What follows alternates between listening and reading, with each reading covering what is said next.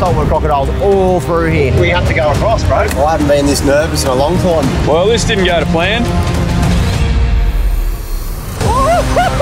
This place is wild. That's the size that lets you know you're alive. This is insane. This is one adventure I've dreamed up for the last 10 years. The fishing trip of a lifetime. We're going to venture into some very remote parts of Cape York. If you go down, you lose your car. It's pretty simple out here. Nah, But out here, we're a long way from home, hundreds of kilometres from help. If it was easy, everyone would be doing this. This is loose. And the tides can swallow a vehicle in a matter of minutes. See how much it's come up? Yeah. We crossed just there. Where do we cross?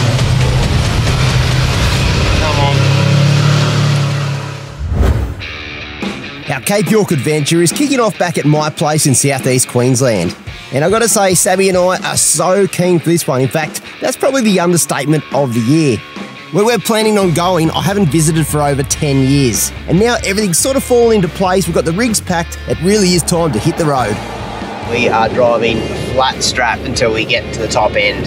In fact, if you look down here, it's 2,692 kilometres. We're gonna have to burn some miles because the plan is to get there in a couple of days. Our route north is no small drive, and with only eight days to drive as well as fish, we're going to waste no time on trucking up north.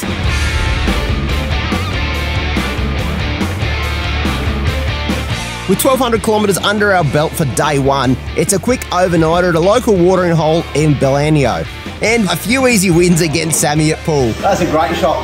Some was call that a strategy, others would call that losing the game.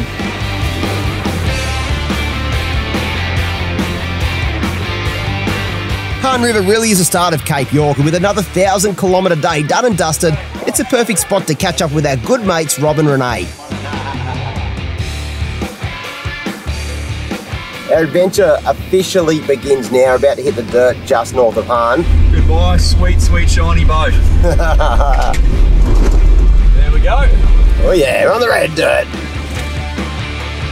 Now, if you don't mind me saying, I reckon this convoy looks pretty darn good. We've got the 200 series up front with the Can-Am side by side on the back. Behind that, we've got Big Soot towing a tinny, so we have all the toys. We've done a couple little mods to make sure that we can tow nice and safe. We've got the rock tamers on the back now. There's a lot of rocks, especially late season. These roads haven't been graded that well. Rocks are flying up everywhere. Of course, the rock tamers do stop those rocks from hitting your trailer. The other thing you'll notice is both vehicles have the clear view mirrors. You can see what's going on the whole time. A couple of times uh, the straps have actually come loose on the Can-Am. Now I can see straight away with good vision that I need to pull over and check those things out. But we're taking it pretty easy and so far it's all going well. The location we're aiming to reach is a remote spot that's miles from anywhere. And at this stage, we're not even sure if we're going to be able to make it. Here we go. I think this is the GPS marker being given. little side track off the main road. It's starting to get a lot tighter through here and the driving's going to be a lot harder. Between us and our fishing location is over 60 kilometres of very slow, tight and really rough corrugated dirt roads. Oh my goodness! Adding to the extra stress of the trip, this is Sammy's first time taking his pride and joy off the tarmac. Right, we're cruising down some tracks now. It's starting to get pretty tight, and these sort of trees that hang over the sides, they may not look like much, but they're pointy as. And when you've got a beautiful cover like this, all it takes is one to go straight through it. So it yeah. takes two minutes to take it off, chuck it in the middle of the boat, and save yourself the drama. If you think that's uh, tough on the boat cover, try taking a 200 series first through. But you know what? Worth it. Making memories. Track is pretty washed out. Nothing too extreme, but very slow going. I've had the big 200 flexed up like this for a while. Yeah, good luck with that one, Sammy. I reckon um, old Sooty in the boat trailer, they'll do all right through that. He's hoping. It's built for it, both of them, so here we go. Look at her, she's flexing away through like a champion. Mate, I'm going to have to be careful here. Uh, if I keep going like this, I might turn into a full driver. Mate, if you ask me, it's a step up in my books, mate. You're doing real well. It's one thing to navigate the trailers through these tight tracks, but it's another to keep the Can-Am on the trailer. We're trying to make the coast in good time, but keep breaking straps.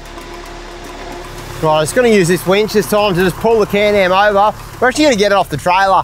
We're getting close enough down to the coast now. We're going to get it straight off, and then our cameraman is going to drive this one in front of the 200. We don't want to break any more ratchet straps, so it's to be a lot easier for everyone.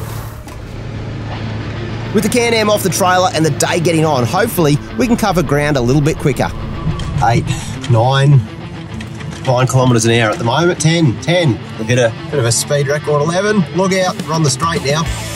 The coastline we're heading to is dominated by the tides, and it's taking us a lot longer to reach than we first thought. Just a little bit of a life update for you. We've been on this track for five hours. It's only 60 k's long, but it is slow. We'll get there. We'll get there. Finally, after a huge day of pushing, we're drawing closer to the coastline. Have a look at this. I can see the water. Can't wait to drive on the beach and not have little shrubs just running down the side of my paintwork. That'd be so nice. I just can't wait to go 40 k's an hour and above. Oh, there's a bit of sand here. Might need to give it a bit.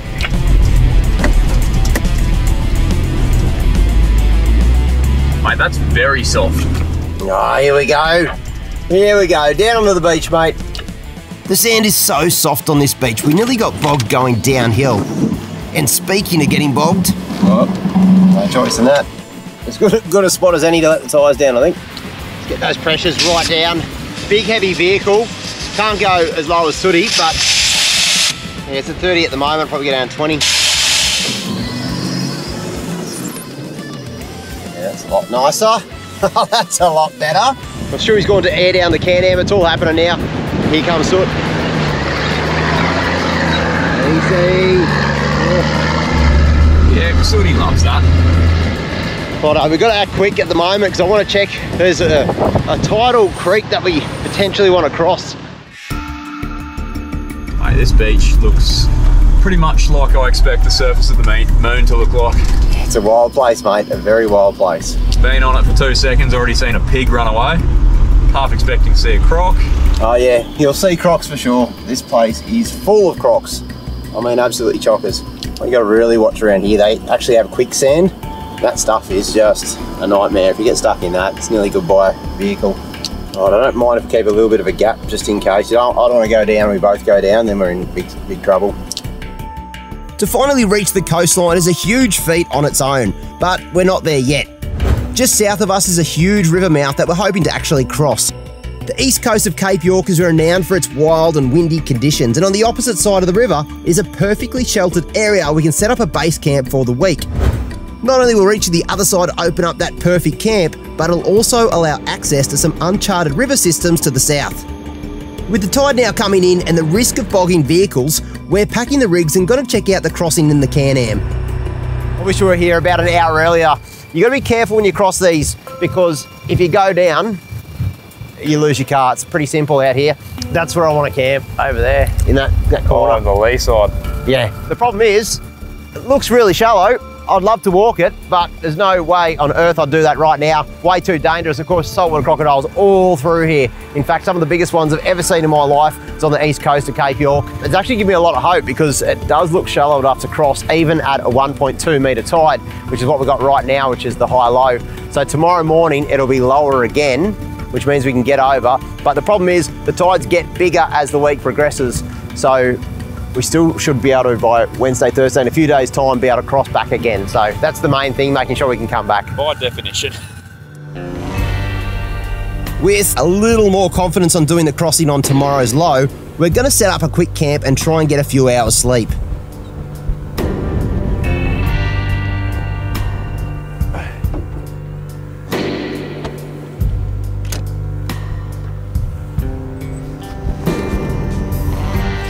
Tonight I could have some burgers, hopefully, just hopefully, that fish is on the menu real soon because it'd be a real shame to come this far.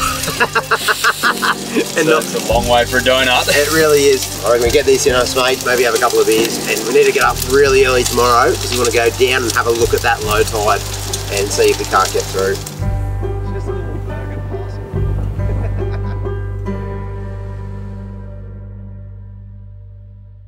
Up to 30% off a massive range of parts at 4drive247.com right now. Things like Castrol oils, OEX starter motors, alternators, DriveTech 4x4 bearing kits, swivel hub rebuild kits, Ryco filter service kits, Bendix brakes, even up to 30% off Clutch Industries gear and 10% off uni clutches as well. So if you need to give your four drive some TLC, like I need to do to this old girl behind me, jump on it quick and don't miss out at 4drive247.com.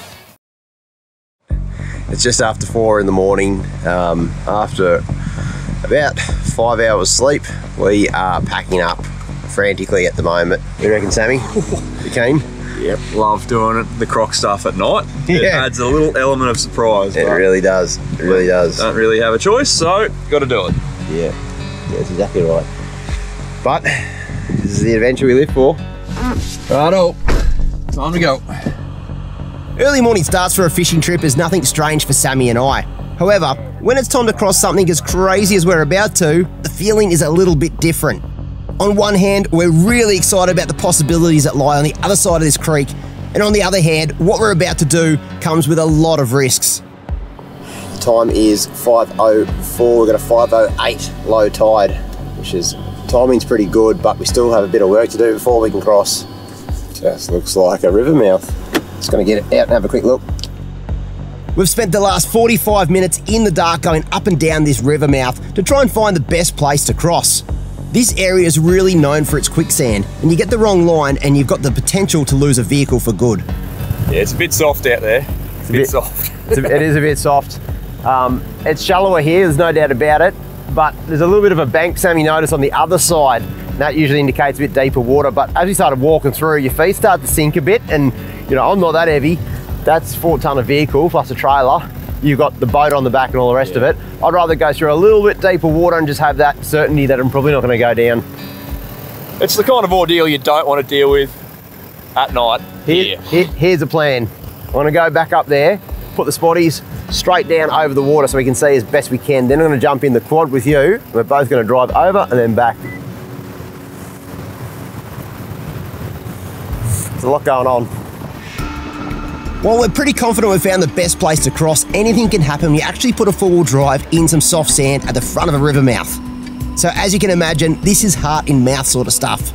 If we get this one wrong, well, this could be the end of our Cape York trip right here. Well, That answers that question. I, I, I idled through that. I, didn't, I didn't give it anything. This is obviously a very lightweight vehicle. That's not even touching over the, the hubs of the cam, is it? Can-Am? A little bit in the in the footwell here. That's a bit deeper. It was a success-ish So far. so far. This we, part, we got we got one third of our convoy across, then we brought it back over. So I've never been so alert after four hours sleep or five hours sleep. yeah, you think your coffee wakes you up in the morning? Try, try this. Heaps more effective. But I'm just visualising success here because uh, I probably don't need to remind people. but Last time I drove through water on this show, it didn't end as well as you would hope. Again, sorry, Pete. And uh, yeah, we sunk a car on Moreton, but that's all right. This is heaps more remote. This time you're in a Toyota, mate. You, I'm not going to say you can't go wrong, but good luck. I reckon dead set, come down here because that's the deep part. I'm just going to come from there and just go straight that way. Good luck, my friend. this is loose. Okay. The guinea pig's going across. Big soot. This will be the big test because we got the boat. I am a little bit nervous. This is by far nowhere near as extreme as some of the water crossings these lads do, but when you've got a boat trailer to weigh you down, it's salt water, there's crocs, it's night time, the sand's moving, it all just adds up. Just want everything to go smoothly. Oh, I haven't been this nervous in a long time. I'm not even driving. Sammy's driving my other and joy with a boat on the back. That's the line. You go for it when you're ready, mate. Just, I reckon, just straight across. Have a go. Have a go.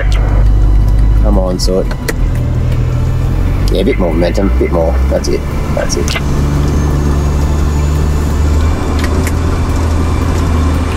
There, those melon holes. Hang on to it. Yes, yes, yes.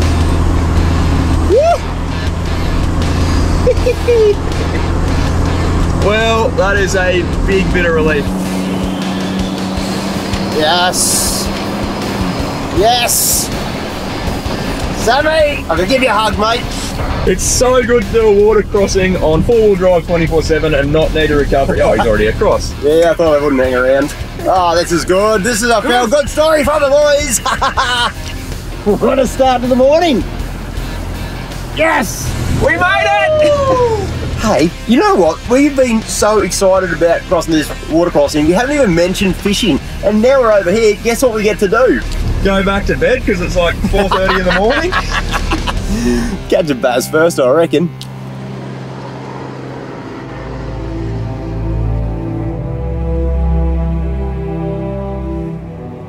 To have all the vehicles on the opposite side of the river mouth feels like a massive achievement. With all the rigs across, we have now opened up access to our base camp for the next few days. I've been dreaming of being in this exact spot for over 10 years now. To say I'm excited for what lays ahead is a complete understatement. Every now and again, you just need to stop and just pinch yourself because this is absolutely amazing. What we've just undertaken, a water crossing in the dark. You've got to risk it for the biscuit. And that's what we've done today. And we've come up trumps. And I'm really, really stoked because we've got a campsite that's out of the wind a little bit. It's, it's protected from that southeasterly. And the really cool thing, this opens up so much opportunity for adventure. So the plan now, as much as it'd be nice to go for a fish, Sammy's, it'd be hard pressed getting him away from that water. But we're gonna make a base camp up. I wanna set that up properly, put a bit of time into it, and get the solar out as well, because we're gonna be relying on solar heavily, because we're gonna be here for a few days. The vehicles aren't gonna get turned on, and we've got all of our needs of 12 volt, plus of course, we have camera uh, equipment to charge as well. So we need that solar pumping. Then I think we'll jump on the Can-Am and go for a bit of an explore on that low tide and see what's up around there. And uh, then we'll come back. We'll have enough tide to hopefully put the boat back in the water. And there's the afternoon. You join the dots. With a little too much excitement, we couldn't help but cast a quick line. And you wouldn't read about it, but second cast in, I've hooked a little barra. And the good news is, it's before Sammy as well. Second cast on this side of the bank, about 10 metres from camp. Wow. Barramundi, tick. They get big in that though, they get a lot bigger. Hold your rod because I want to catch one. If you wanted an indication of what the fishing is going to be like, well, this is just the beginning. With our base camp set up and the Can-Am loaded, it's time to explore further afield.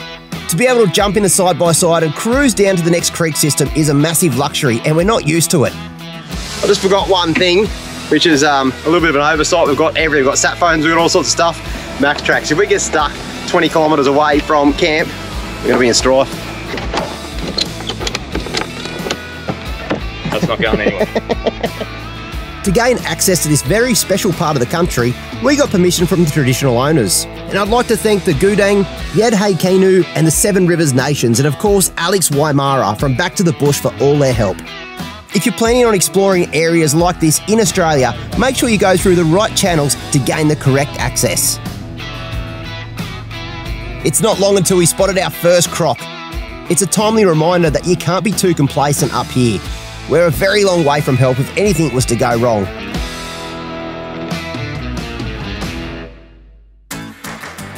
Just through here. Have to be super careful of this tide turning because if it gets too deep, we can't get back through the quad. We're stuck here, we don't want that. I don't want to go near the water's edge. I'm a little bit spooked. I just had a barra buff the lure three times. Really? Yep. Keen to be my first. It's what we call the uh, Shaun Whale snake. oh, fish on. There he is. What? That's a mangrove jack. There we go, Shaun's on. That's a beautiful little mangrove jack. It's only the start of our little mission. How good is that? They hit so hard too. Really good finger mark. Oh, how do you not take him for tea? Oh my goodness, you're kidding. It's fast and furious action. That is a beautiful finger mark. If you're, we will be eating fish, there's no doubt about it. That would be one of the best fish you could eat out of this system. These are mangrove jack. They don't get much better.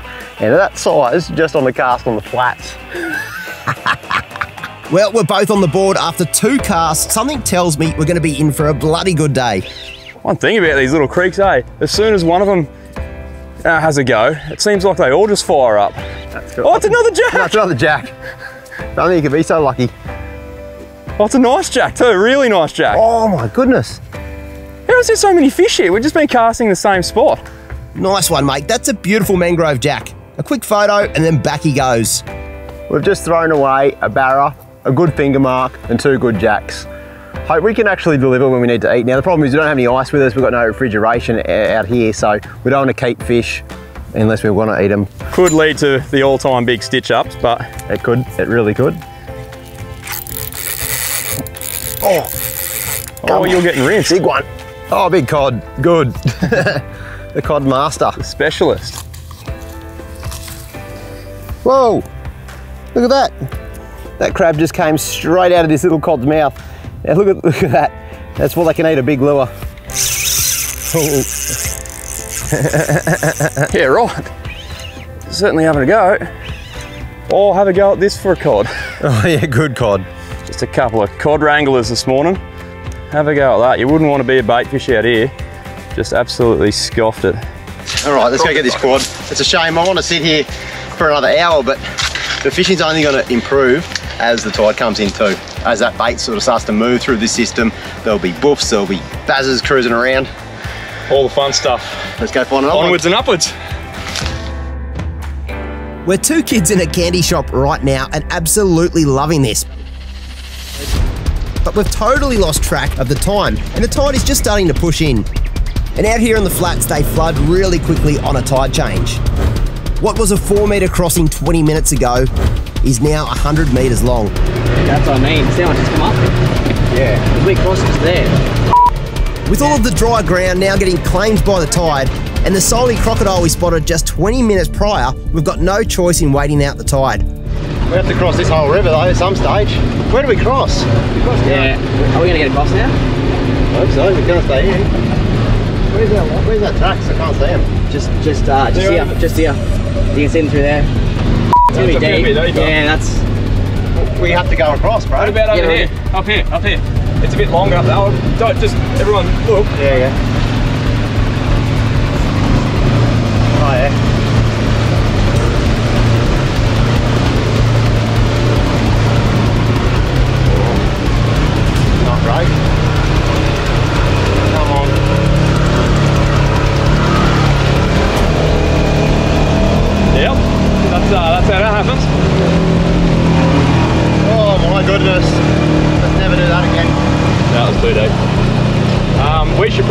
Race back to camp.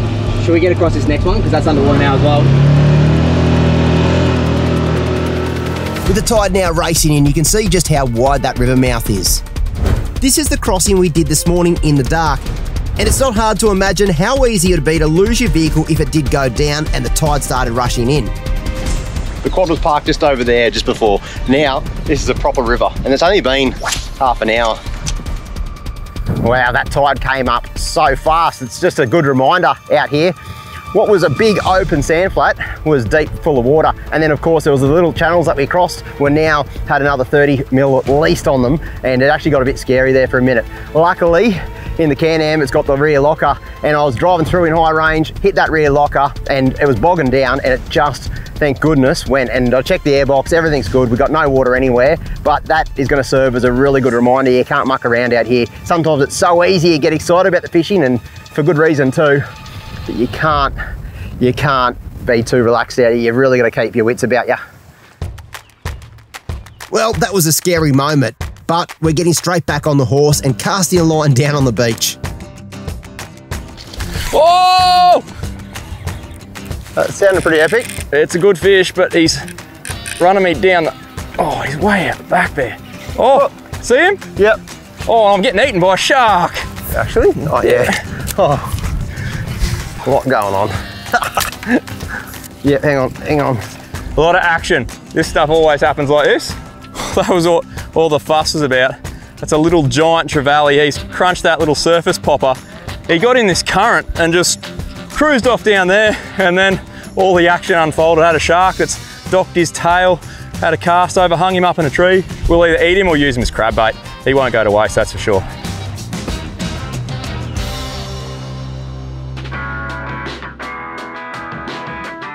It's not even lunchtime. About to put the boat in the water and explore this creek system. That'll be pretty fun. Can't wait to do that. After all those corrugations, pretty well everything working in the boat. Makes you very nervous when you turn it on for the first time, but we can trim and tilt. All right. How's this? The boat's not even in the water yet. We've got another double hookup. This place is insane. Unbelievable. We're just trying to launch the boat. We don't even need to launch it. This place is wild. Well, let's try this again. the local boat ramp here goes all right. Straight out of camp and the boat is in. We are on the boat. How good's that? How good's that? We wouldn't mind, obviously, some fish for dinner, but we've got plenty of time to do that.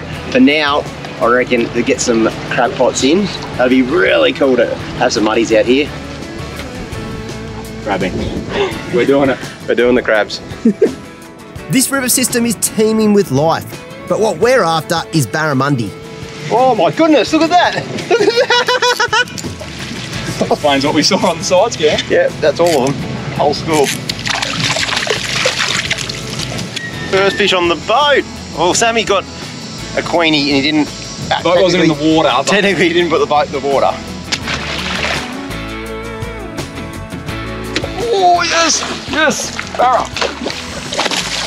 Oh, yeah, that is a barra. My first Cape York barra. I'm pretty happy about that if you can't tell. Just a little jack, mate. Oh, yeah? Just a little jack. Jack and a barra for dinner. Okay. Freshly caught fish just hours before dinner. It doesn't get much better than that. We got one. yeah, good one. Like a really good one. Wasn't expecting that. That was not in for long. That happened quick. Happened real quick. Girls. That's pretty cool. We've had the pots in for probably about an hour and a half, maybe two, and nice big buck. And you can tell a male because they've got the skinny little part on their carapace. What a day! We've caught mangrove jack, barra, cod, queenies, mud crab, finger mark, and plenty of other species all within the first 12 hours. This trip is shaping up to be a trip of a lifetime. We're going to be recovering the boat at nearing low tide, which means we have to use the extended drawbar. Hopefully it all works. Uh-huh. The sand here is really super soft, and with the tide now out, it's proving a little more tricky to recover the boat. In remote locations like this, you really do need to be prepared with the right gear. After a few Maxtrax under soot and a bit of right boot, we've managed to get the boat out. There she is.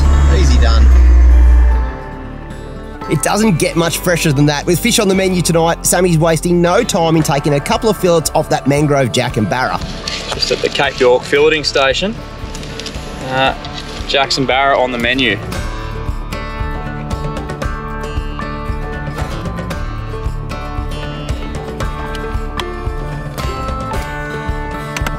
To be sitting back on a very remote beach in Cape York with a cold beer in hand after the day we've just had, well, someone needs to pinch me. This really is living.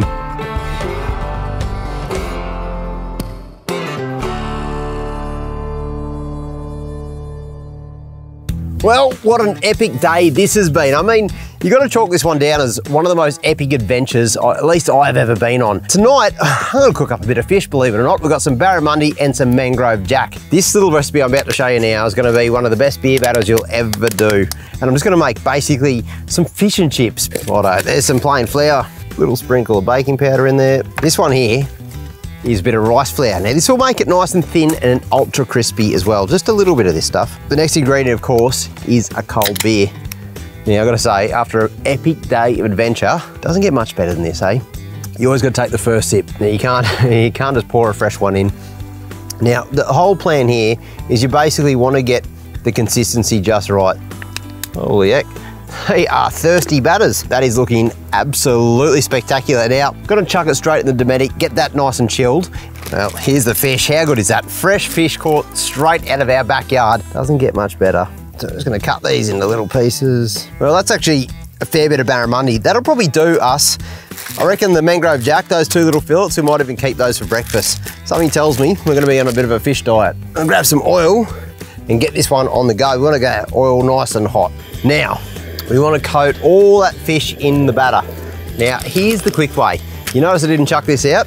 This goes all back into that bag. Now the batter we just made, guess what? Goes over the fish. And this is why I reckon these Ziploc bags come in so handy. Look at that. What have you done to my fish? Your fish.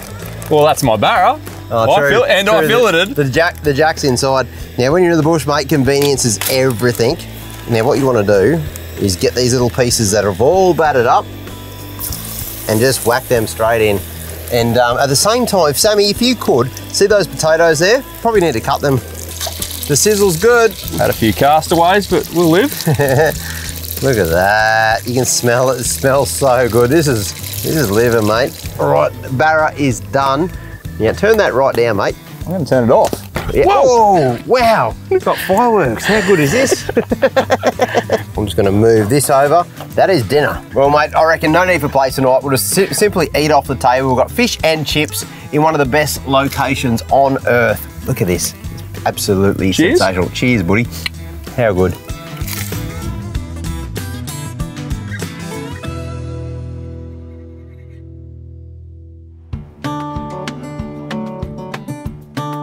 With our alarm set super early again, Sammy and I aren't wanting to waste any fishing time. The plan this morning is to jump in the Can-Am and um, do a little bit of exploring again, come back, put the boat in. We need to check those crab pots we chucked in yesterday and also, ideally, if we can try and get the tinny up to another creek system, that would be pretty cool too. And hopefully we don't get caught out by the tides again.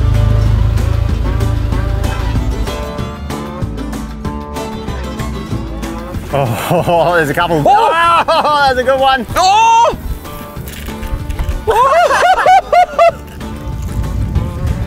That's the size that lets you know you're alive. It's just madness, chucking little surface lures on the same gear that we're catching barra in the creeks, we're catching fish like this. Real good fun.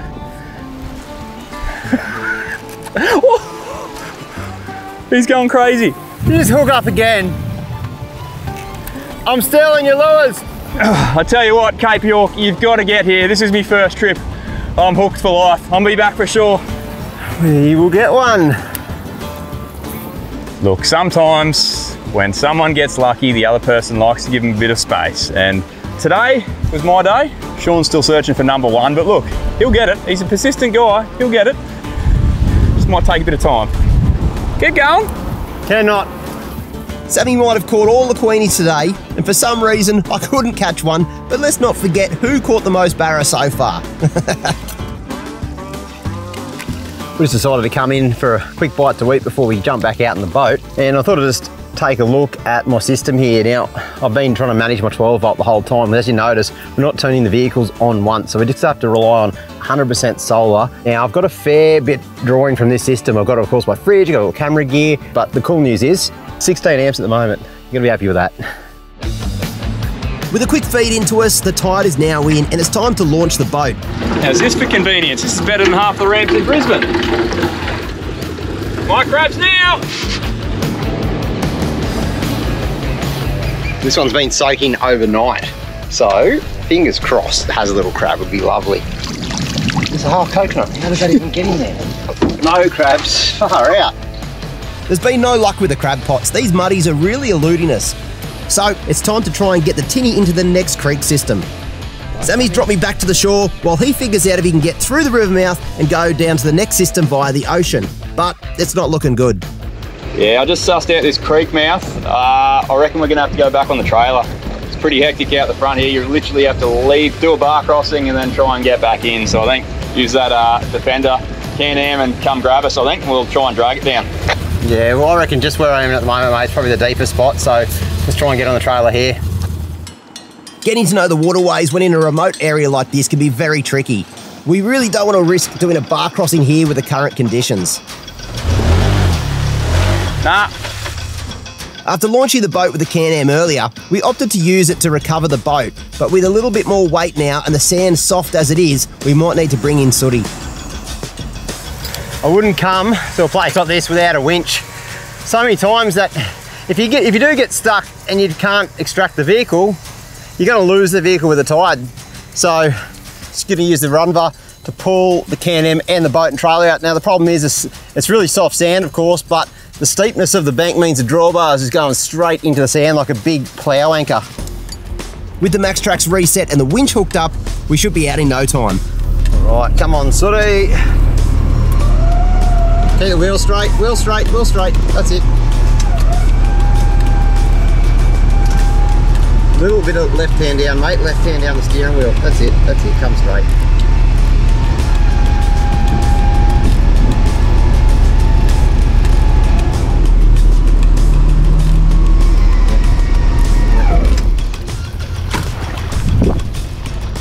With the boat back on the trailer, it's hooked up behind Sooty. We'll have to get to that creek system by towing it down the beach, but of course that's not going to be easy because the sand up here is so soft. And soon enough, Sooty's gotten bogged. We're just going down to some soft sand with Soot and the boat. This is a situation I don't want to be in, stuck on a tidal beach with an incoming tide. First things first, we've got to get Sooty out of here. The day of recoveries. It should be a day of fishing, this one. So I think the best way to make sure Sooty can get out of here on her own steam is to launch the boat straight from the beach here.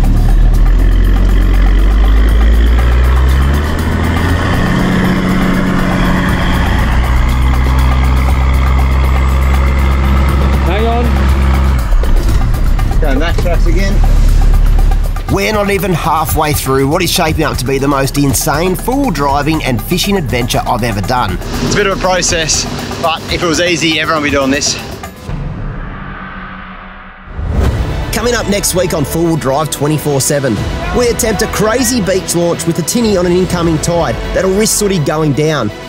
And what lays ahead is some fishing that not even we could have imagined. Unreal. Oh, it's massive. It's raw, it's wild, and completely uncharted. Oh, oh my goodness, this is not for the faint-hearted. But the bigger the adventure, the bigger the risk that things will go wrong. So the situation is we have zero food, not even a muesli bar. Now the pressure's on, we need to get a couple of fish for lunch. Oh no. Well, this didn't go to plan. Can-Am is stuck. Do all the vehicles make it out? Well, you'll have to tune into part two of our adventure next week and see all the action unfold for yourself.